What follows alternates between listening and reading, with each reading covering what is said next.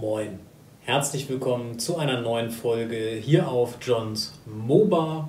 Heute wieder mit einem Update von meiner H0-Anlage Fred Hauen und wir werden uns gleich anschauen, was hat sich getan, was ist dabei. Es sind wieder schöne Sachen passiert, diesmal auch ein ganz bisschen Landschaftsbau wieder, andere kleine Details. Ich habe ein ganz bisschen Log-Detaillierung, Log-Detaillierung, wieder für euch mitgebracht. Das schauen wir uns auch noch an. Dann gibt es ein paar neue Sachen von der Firma Artitech aus den Niederlanden. Schauen wir uns auch an, was das ist. Ja, und das wird es dann so im Groben gewesen sein. Also da sind schon wieder ein ganz paar spannende Dinge, denke ich, für jeden mit dabei heute. Wenn ihr das schon länger verfolgt, die Anlage habe ich begonnen mit Beginn des ersten Lockdown in Deutschland, also im März 2020. Wir haben jetzt knapp 15 bis 16 Monate später und da seht ihr, was man in der Zeit eben auch so nebenher dann machen kann. Aber die Anlage wird eben auch immer fertiger. Das heißt also, die, die Größe der Bauschritte wird natürlich immer ein bisschen kleiner. Das heißt also, die ganz großen Bauschritte findet ihr natürlich viel weiter vorne im Kanal hier. Apropos Kanal, wenn ihr noch nicht dabei seid, lasst gerne ein Abo da, gebt einen Daumen hoch für das Video, das freut den Algorithmus und freut auch meine Spenden-Challenge, wenn ihr die noch nicht kennt. Das heißt also, ich werde im Jahr 2021, dem ersten Jahr der Monetarisierung hier auf diesem Kanal, mindestens die Hälfte der Werbeeinnahmen von YouTube spenden für gute Zwecke. Da gibt es auch schon zwei Projekte, die wir unterstützen. Jetzt das dritte kommt Ende des Videos, werde ich euch das nochmal vorstellen, was wir diesmal machen. Und ja, insofern, da hilft jeder Daumen nach oben natürlich weiter, um die Werbeeinnahmen zu erhöhen. Ich hole euch jetzt erstmal ab. Wir machen den Rundflug über Friedhauen. Ihr seht die Neuerungen und danach sprechen wir noch über ein paar andere Dinge. Also, bis gleich. Damit herzlich willkommen auf Friedhauen. Wir starten mal wieder hier oben in der Ecke. Und das erste, was man hier dann sehen kann, ist jetzt die V200 von Rocco in einer ja, etwas optimierten Version. Was heißt das konkret? Wir haben erstmal hier und hier, wie ihr seht, jetzt plötzlich dunkle Dinge hinter den Fenstern. Das heißt, ich habe einfach da die extrem helle Landschaft, die so ein Motor darstellen sollte, dahinter mal ein bisschen dunkel gemacht. Ein ganz bisschen noch mit so einer Art ja, Metallic-Farbe bin ich da nochmal rübergegangen. Und jetzt sieht das einfach richtig schick aus. Dann habe ich, wie ihr hier sehen könnt, die Dachlandschaft so ein ganz bisschen gealtert mit Fokus auf die beiden Auspuffe. Und was man jetzt hier nicht so richtig gut sieht, aber da haben wir vielleicht noch ein passendes Foto zu, ist, ich habe noch so ein ganz bisschen die Drehgestelle auch mit Flugrost versehen. Das soll es dann schon gewesen sein. Inzwischen sind die Fahreigenschaften auch okay. Sie quietscht immer noch ein ganz bisschen am Anfang. Aber gut, ja, muss man mit leben. So viel also zur V200. Die hat sich also jetzt hier auch in die Anlage eingefügt. Genau. Was haben wir dann an Updates? So sieht es hier jetzt aus. Und der eine oder andere hat es jetzt vielleicht schon entdeckt. Hier gut integriert in die Landschaft ist ein neuer Bunker. Und dieser neue Bunker ersetzt einen alten, deutlich kleineren Bunker. Und der Einbau war aufgrund der Landschaft, wie ich sie hier gebaut habe, mit dem Hartschaum, total easy. Ja, also mit dem Cuttermesser konnte ich hier im Endeffekt den neuen Bunkerbauplatz ausschneiden, den Bunker einpassen und dann die Landschaft eben wieder außen rum bauen. Warum habe ich das gemacht? Der Bunker sieht hier einfach viel, viel besser passender aus zu meinem Atlantik-Wall quasi Szenario, was wir hier am Rand haben, was man einfach als Dänemark-Urlauber vielleicht auch kennt. Und dieser Bunker hat noch ein paar Besonderheiten, den habe ich bei eBay gefunden. Also erstmal hat man hier quasi eine ja, Beobachtungsstellung, denke ich mal, soll das sein. Da kann man reingucken, aber das ist noch nicht alles. So, der Bunker hat ein komplettes Innenleben. Das heißt, wir haben hier eine komplette Struktur des Bunkers im Inneren, die auch für mein Dafürhalten relativ realistisch aussieht, inklusive der Schießscharte, die den Eingang bewacht, die ihr jetzt auf der rechten Seite seht, und in entsprechend dicken Mauern im Frontbereich. Ja, und so sieht das Ganze dann hier an der Decke aus. Also da ist es nicht ganz so realistisch geraten. Ihr seht schon hier beim Material, das scheint so ein Individual-Resinguss zu sein, den hier jemand gemacht hat.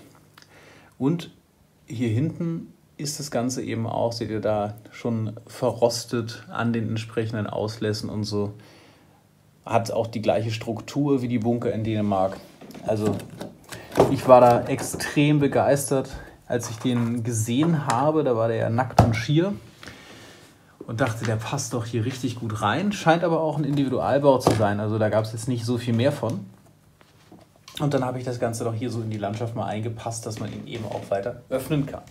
Dazu gehörte noch eine kleine Beobachtungsstellung.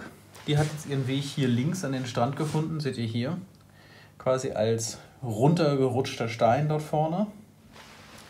Und das finde ich, gibt doch so einen kleinen realistischen Touch, wenn man das so in der Ecke von der Anlage noch sieht. Ne? Neben den Leuten, die quasi hier die Fotos von der Düne machen, beziehungsweise dort unten die beiden Damen, die gleich baden gehen wollen. Das hat doch sowas richtig von dänischem Strand. Wenn wir jetzt mal weiterfliegen von hier, da seht ihr auch den Bunker nochmal aus dem anderen Winkel. Seht auch, hier habe ich gleich richtig zugemacht hier. So, jetzt ist er besser zu.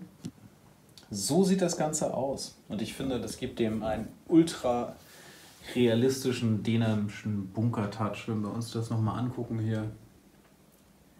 Gerade auch hier mit der kleinen Schießscharte da unten. Dann haben wir hier natürlich, wie ihr auch sehen könnt, so ein bisschen die Laufwege hier weiter. Ja, habe ich versucht, da möglichst realistisch reinzubringen, natürlich immer. Ja, und so sieht die Landschaft jetzt da aus. Und ich finde, da passt der Bunker, wenn man sich das so anguckt, doch richtig gut rein und fällt gar nicht so großartig auf. Und so soll es ja sein, dass der so halb in der Landschaft versteckt ist, aber trotzdem irgendwie so einen Kontrapunkt bildet, wie in Wirklichkeit auch. Genau. So, was haben wir an weiteren Updates? Und zwar hier die kleine V36, die sich ja hier bald von meiner Anlage wieder verabschiedet. Also ich denke, die werde ich jetzt verkaufen. Da habe ich hier die kleinen Schrauben schwarz angemalt und seitdem ist der Eindruck doch auch dreimal besser. Muss man ganz klar sagen. Ja, seitdem wird die viel erwachsener, zumindest von der Optik her. Und dann sind wieder ein paar neue Fahrzeuge dazugekommen. Also ihr seht das hier links, das Taxi, der Kombi dort, der hat noch kein Kennzeichen bekommen, der ist neu dazugekommen. Der Lada Niva von der Post, der hat auch noch es nicht zum Kennzeichen geschafft bisher hier. Die Postszene ist sowieso jetzt ein bisschen umgebaut, wie ihr seht. Jetzt wird hier die Post umgeladen, beziehungsweise man wartet mit den Säcken eben auf den Morgenzug. Denn ja, die Polizei wird immer besser ausgestattet hier. Wir haben jetzt einen weiteren Polizeiwagen dazu bekommen. Das ist der hier in der Mitte, auch von Brekina, auch ein wunderschönes kleines Modell. Und bin ich immer wieder begeistert von, wie viele unterschiedliche Varianten und Modelle Berekina da rausgebracht hat. Also klarer Daumen hoch und Empfehlung für Berekina-Fahrzeuge an der Stelle. Genau, aber da haben wir quasi hier die drei Polizeifahrzeuge in der Station. Das sind zwei Ford, also die hinteren beiden, das ist jeweils ein Ford. Und der vordere hier ist der Funkstreifenwagen, der Volvo, der müsste eigentlich der neuere sein als die anderen beiden. Genau, dann haben wir hier noch den Mannschaftswagen bzw. Gefangenentransporter und die beiden Motorradpolizisten neben unserem kleinen Kaufmannsladen. Ja, also da hat sich sonst nicht weiter viel getan hier in der Ecke. Was ich aber habe, und das steht jetzt hier gerade da hinten, ist ein zweites modulares Objekt. Und zwar ist es hier eine kleine Yacht, die ich gebaut habe aus einem Bausatz der Firma Artitech heißen die ja, glaube ich. Ich hole uns die mal ganz kurz da hinten raus. Dann könnt ihr auch sehen, was ich meine. So. Und zwar, seht ihr schon, die ist in zwei Teilen. Das heißt, wir haben hier einen zweigeteilten Bausatz, unten jetzt das Wasserlinienmodell. Und wenn man sich das anguckt, auch hier mit der Reling und so, das ist schon relativ fein detailliert. Der Bau war, muss man ganz ehrlich sagen, aber grausam. Wirklich richtig, richtig grausam. Und ja, insofern, ob ich das jetzt wirklich euch empfehlen kann, das Modell, das weiß ich noch nicht. Es ist super detailliert, richtig schick. Aber der Bau, wie gesagt, ist grausam. Was cool ist, als Wasserlinienmodell kann ich es jetzt hier bei mir in den Hafen legen. Hab dann da hinten immer noch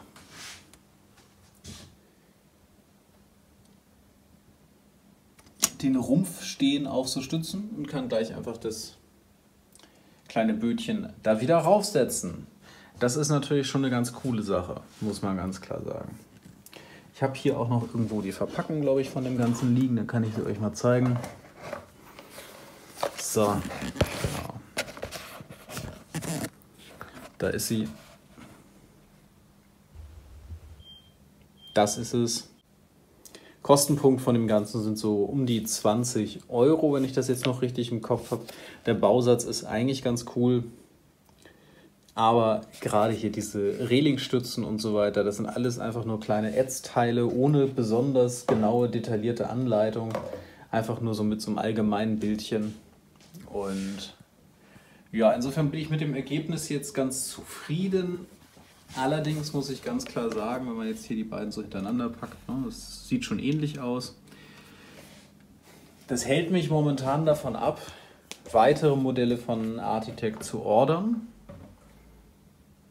Also es gibt ja ganz, ganz viele tolle Boote und sowas als Bausatz von Architect. Die sehen auf der Homepage von denen immer ganz super aus. Die Frage ist, ob das Ergebnis bei mir so super aussehen würde, weil man eben selbst alles so zusammenbauen muss. Ja? Da sind vielleicht dann so Revell-Bausätze oder so für mich doch noch die Variante von meinem Niveau, auf dem ich momentan bin. Ja.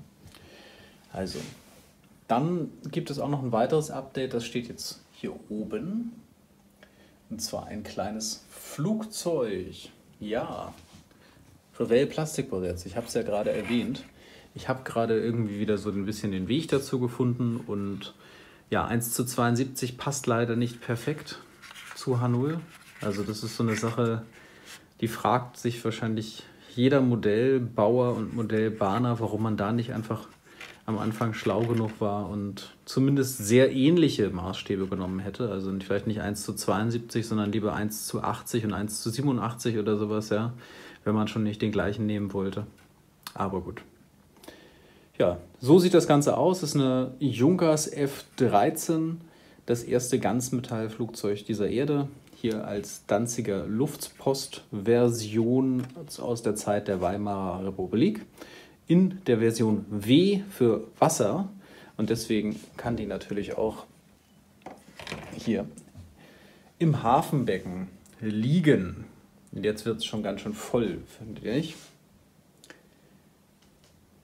Genau, wenn wir sonst rumgucken, sieht es alles aus wie vorher noch. Hier unten hat sich also tatsächlich auch gar nichts getan, außer dass hier zwei weitere große dänische Doggen dazugekommen sind.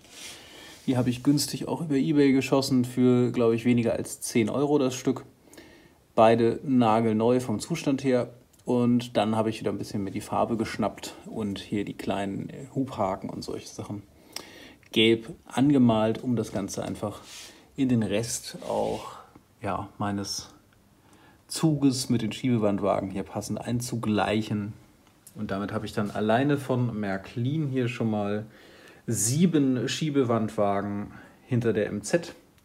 Und dazu kommen dann ja noch die hier von Brava.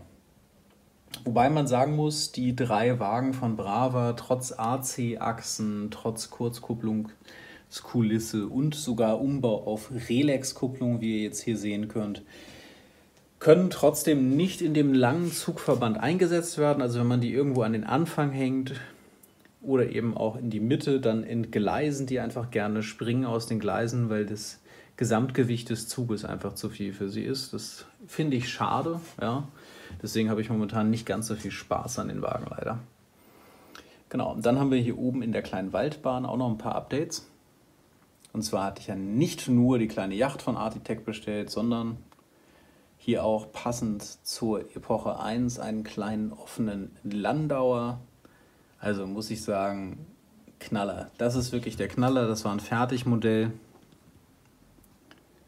Und wenn ihr jetzt auch hier die Details seht, die Detailverliebtheit auch von der Konstruktion seht, insbesondere auch wenn man jetzt mal nur einen kleinen Finger, das ist mein kleiner Finger, daneben hält, ja, muss man sagen, das ist schon ganz großes Kino. Und passend dazu dann auch hier ein kleinen Ford. Das müsste der Ford TT sein als Pickup mit Ladefläche und auch da, das Ding ist ultra filigran, also auch hier auf der Unterseite, ne, Fertigmodell, aber hammer filigran. Und wieder die Größenvergleiche hier, da ist mein kleiner Finger, ja, also schon richtig, richtig schick. Ja, so viel dann auch zur Waldbahn hier oben. Also da seht ihr, Holztransport ist im Gange. Der kleine Versorgungswagen mit seinen beiden Anhängern ist hier unterwegs. Und inzwischen, allerdings das noch nicht digitalisiert, habe ich hier noch eine weitere kleine Lokomotive gebaut.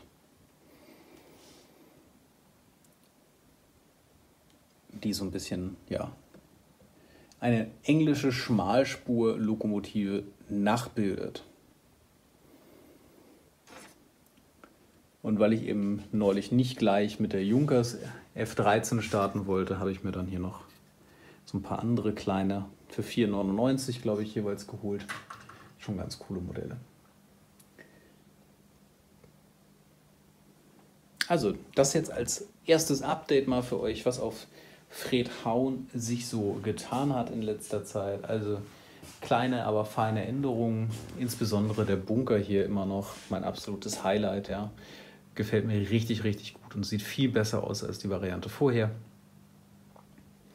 Und so langsam wird es doch. Jetzt muss ich mich mal hier um die Ecke und den Bahnhof, den bzw. den Abstellbereich dort hinten kümmern.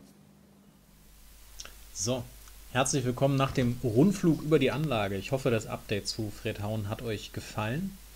Und wir haben jetzt noch am Ende das Thema Spenden-Challenge und was hat sich entwickelt, wie weit sind wir gekommen.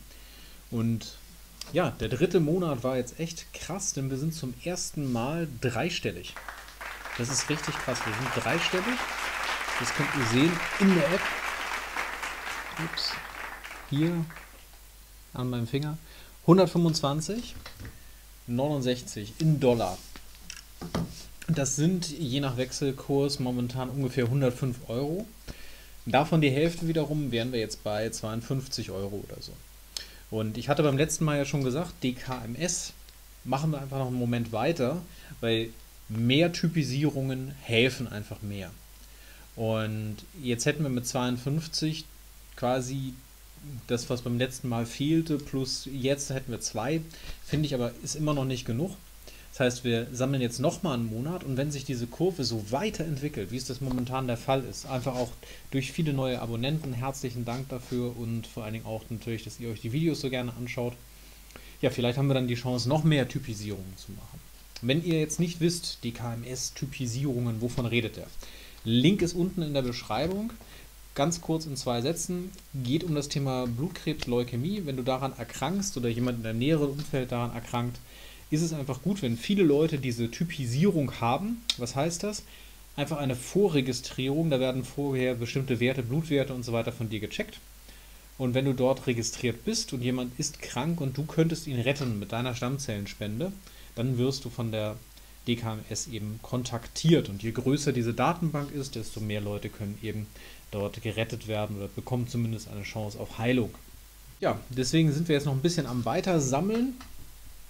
Das heißt, auf die 35 Euro vom letzten Monat kommen jetzt eben nochmal 52 oben drauf. Und dann gucken wir mal, was jetzt so die nächsten Monate, beziehungsweise den nächsten Monat jetzt erstmal dazukommen. Vielleicht schaffen wir dann irgendwann 10 Typisierungen oder so. Das wäre natürlich richtig, richtig cool. Da halte ich euch auf dem Laufenden. Und ganz zum Abschluss, ja, es geht weiter. Ich habe demnächst mal wieder ein bisschen Material für euch, was nicht ganz so in der Anfängerkategorie drin ist. Einmal seht ihr hier Heyan und dann, ich weiß gar nicht, wie ich euch das zeigen kann, ohne dass ihr sehen könnt, was das ist. Ups. Und das hier MCK. Beides direkt aus Dänemark. Ihr dürft gespannt sein. Sehr coole Sachen, die auch definitiv hier bleiben. Also, so viel für heute. Ich freue mich, wenn ihr das nächste Mal wieder mit dabei seid. Bis bald. Macht's gut. Ciao.